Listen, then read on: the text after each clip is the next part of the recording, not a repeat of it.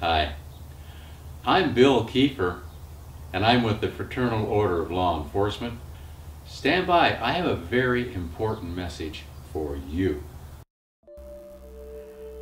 I have been hurt and pained by others, and I will hurt and give them pain. I will make them suffer as I have suffered. The words of a sadist, one of the most disruptive elements in human society. The sadist does not want to quickly kill his victim. He needs the thrill of slowly torturing them as he watches and is gratified. To have complete mastery and power over another, to reduce them to helpless objects, to manipulate and humiliate. The screams of the victims prove that the sadist has power over another individual. To humiliate them and have them beg for mercy. To enslave them. To have complete domination over another, taking pleasure of another person's pain. To inflict moral insanity on the innocent that is his objective. A sadist, then, is characterized by cruel, aggressive, manipulative, and demeaning behavior directed towards others. Abusiveness and violence are common in the sadist social relationships because the sadist lacks concern for people and derives pleasure from harming or humiliating others, including animals.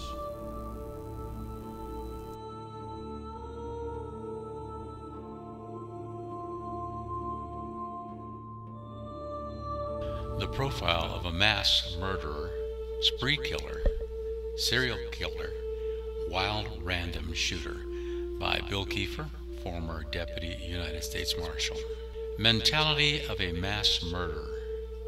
Example is that I was taking a federal prisoner to Leavenworth, and he said, Marshal, I wish an atom bomb would go off right here. I responded that if that happened, he would die instantly also. He said, I don't care. Having no regard to his own life, he certainly had no regard for my life or any other life in the world. Not yours, not mine, not your children. Many mass shootings are motivated by revenge or envy. That's why many take place at a school or a workplace where shooters felt rejected. Mass murderers want to kill as many people as he or she can at that appointed time of action. Killers often exhibit risk factors that are generally tied to a history of abuse or lack of parenting, a tendency to set fires or hurt animals, a sadist streak, and self centeredness, and a lack of compassion. The killer lacks compassion and empathy for victims.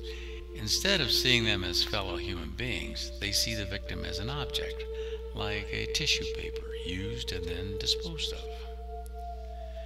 School shooters, or any mass murderer, often harbor anger and paranoid delusions, have low self esteem, and hang out with an outcast group, or just a loner. Usually, a triggering event such as a lost job or a falling out with a girlfriend, feeling that they just don't fit in, that finally makes them snap. They also tend to be obsessed with guns violent video games or movies. In today's culture, more than ever before, the violence of video games consumes some individuals, young and old alike. Today's lack of personal contact. Instead, it is social media, cell phones, texting, and non personal contact that deadens personal contact, social interactions. In retrospect, Investigators uncover warning signs such as trying to recruit a peer or writing hateful stories.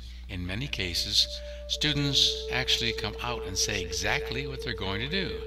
I'm going to come back with a gun and kill all of you. Since 2000, the internet, we live in a more toxic culture. Although mass murder has been with us as long as human beings have been on this earth, dictators like Hitler, governments wage war, and on and on. Overwhelmingly, mass shooters are men. That's no surprise when you consider their self professed motives. These killers often feel very powerless. The only way they can feel like they're somebody, that they're a man, is to get a gun and kill people. Or get even.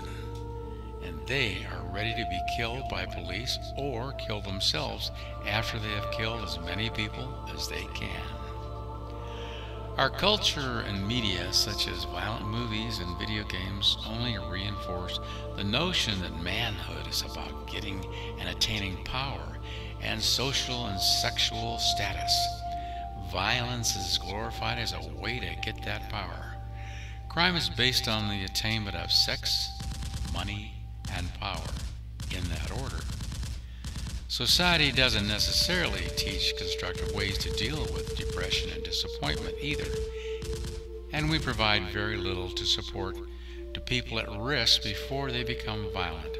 When a person feels like they can't get there from here, mentally, then they feel they have nothing to lose and does not have any feeling for anyone standing in their way. Each mass shooting also holds the potential to spawn others because other would be shooters see stories about the crimes in the newspaper and they want to emulate them. Nobody can predict who will become a mass killer. Mothers kill their own children, and mass murderers have no conscience at all, such as family annihilators. They could be standing in line at your bank with you, eating at the food court in your mall, your favorite restaurant, or at your local theater. Millions of people will feel disjointed and vengeful and may even lack empathy. I had personal contact with Charlie Manson on a daily basis in the Los Angeles court system as a marshal. His eyes were black, cold, and lifeless. He had no regard for anyone. He would kill you so much as look at you. And that is what he told me many times. It's only these kids who are really fundamentally struggling with their own identities that will take action for total destruction, including himself and his own family. If a mass murder can happen at the Umpqua Community College in the middle of the forest in Oregon, it can and will happen anywhere. Be aware of your surroundings. The importance of preventing these massacres before they happen. To identify potential mass murderers by past actions, like being a bully at the age of six years old, killing animals, and etc. One big thing is, you can't arrest a person before the crime is committed, except for the conspiracy of said act. It's not so much to catch shooters, because we know that's very difficult, but actually to address very widespread problems facing millions and millions of children in today's society. And it gets worse every day. One school shooting begets another, and another, and then another. Mass murderers, spree killers, serial killers. I don't see much of a difference. They should be convicted and executed, unlike Richard Ramirez and Charlie Manson, the Night Stalker still sitting on death row. We do live in a sick society. I am Bill Kiefer, former Deputy U.S. Marshal, graduate of the U.S. Air Force Security Police Academy, U.S. Marshals Academy, and the Federal Law Enforcement Training Center in Washington, D.C., and Cal State Handling Disturbed Persons Certification. I've been the supervisor of Federal Witness Protection Program in Los Angeles, Hawaii, Long Island, New York, and Rhode Island, and author of the book, In a Pig's Eye by Publish America. I'm Bill Kiefer. Thanks for watching.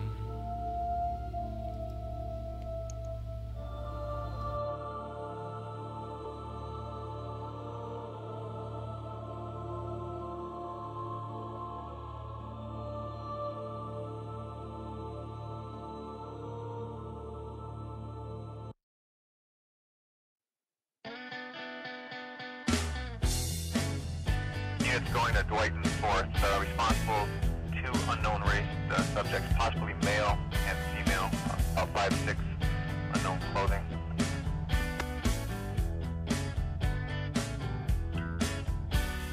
DT, do we know what kind of car that is they're breaking into? Yeah, it's a 16-foot white box truck.